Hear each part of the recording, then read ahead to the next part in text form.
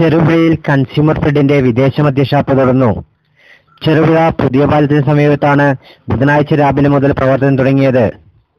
പടക്കം പൊട്ടിച്ചും മറ്റും ആൾക്കാരെന്നെ വരവേൽക്കുമ്പോൾ ഇതിനെതിരെ പ്രതിഷേധം ഉയരുകയാണ്. വിദേശ മദ്യഷാപ്പിന്റെ വിവിധ ദൃശ്യങ്ങൾ.